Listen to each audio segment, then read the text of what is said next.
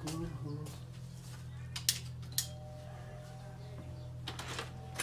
ਸ਼੍ਰੀ ਅਕਾਲ ਬਾਈ ਜੀ।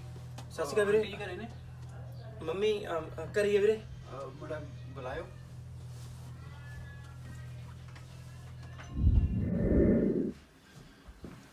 ਵੇ ਕੌਣ ਆ? ਮੰਮੀ ਜਿਨ੍ਹਾਂ ਤੋਂ ਆਪਾਂ ਨੇ ਗਵਾਂਢੀਆਂ ਉਧਾਰੇ ਪੈਸੇ ਫੜੇ ਨੇ ਨਾ 5-7 ਲੱਖ ਰੁਪਏ ਉਹਨਾਂ ਦਾ ਮੁੰਡਾ ਬਾਹਰ ਖੜਾ ਵਾ।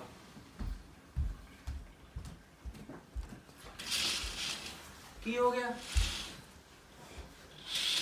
ਕੀ ਹੋ ਗਿਆ? ਠੀਕ ਆ। ਉਹਨੂੰ ਕਹਿ ਦੇ ਉਹਨੂੰ ਕਹਿ ਦੇ ਵੀ ਘਰ ਨਹੀਂ ਹੈਗੀ ਮੇਰੀ ਮਾਂ। ਮੈਂ ਤਾਂ ਕਹਤਾ ਮੰਮੀ ਕਰ ਗਿਆ? ਹਾਏ ਵੇ ਤੇਰਾ ਬੇੜਾ ਗਰਕ ਹੋ ਜੇ ਵੇ। ਤੈਨੂੰ ਤਾਂ ਹੀ ਕਹਿੰਦੇ ਨੇ ਵੀ ਮੂਰਖ ਮੁੰਡਾ ਇਹਨਾਂ ਦਾ। ਕਿਉਂ ਘਰ ਦੀਆਂ ਗੱਲਾਂ? ਦੱਸਦਾ ਹੁੰਦਾ ਸਾਰੇ ਭੇਤ ਤੇ ਹੀ ਜਾਣਾ ਜਦ ਉਹਨੂੰ ਕਹਦੇ ਵੀ ਮੇਰੀ ਮਾਤਾ ਉੱਜੜ ਗਈ। ਐ ਕਹਦੇ ਜੜ ਵੇ ਅਕਲ ਕਿਸੇ ਥਾਂ ਦਾ। ਉਹ ਮੰਮੀ ਵੀਰੇ ਉਜੜ ਗਈ। ਉੱਜੜ ਗਈ? ਕਿੱਥੇ ਉੱਜੜ ਗਈ? ਮੈਂ ਪੁੱਛ ਕੇ ਆਉਣਾ ਇੱਕ ਮਿੰਟ। ਹਾਂਜੀ। ਮੰਮੀ।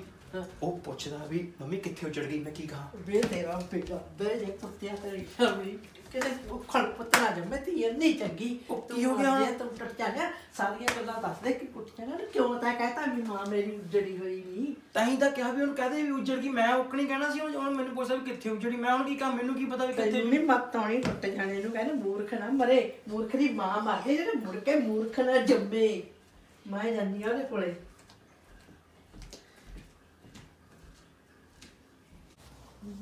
ਸਤਿ ਸ਼੍ਰੀ ਅਕਾਲ ਆਂਟੀ। ਹੱਸਰੇ ਉਹ ਮੈਂ ਆਇਆ ਸੀਗਾ ਵੀ ਆਪਣੀ ਮੇਰੀ ਵੱਡੀ ਭੈਣ ਦਾ ਵਿਆਹ ਨਾ।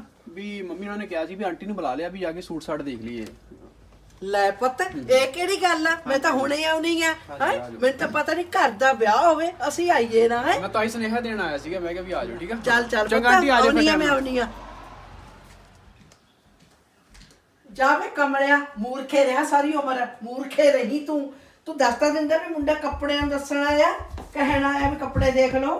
ਮੈਨੂੰ ਕਿਹੜਾ ਨੇ ਦੱਸਿਆ ਵੀ ਮੈਂ ਕੱਪੜੇ ਕਿੱਥੋਂ ਆਉਣਾ ਆ? ਚੱਲ ਵੇ ਐਵੇਂ ਨਹੀਂ ਤੈਨੂੰ ਕਮਲਾ ਕਮਲਾ ਕਹਿੰਦੇ। ਮਾਰ ਦਿਆ ਤੈਂ ਮੇਰਾ ਜੈਖਾਨੇ ਦਾ ਬਲੱਡ ਵਧਾਤਾ, ਕਮਲੀ ਲਾਤ ਨੇ ਮਾਰ ਲਿਆ ਇਹਨਾਂ ਨੇ। ਹਾਂ, ਮੈਂ ਤਾਂ ਉਕਣੀ ਗਈਆਂ, ਮੇਰਾ ਤਾਂ ਧੜਕਣਾ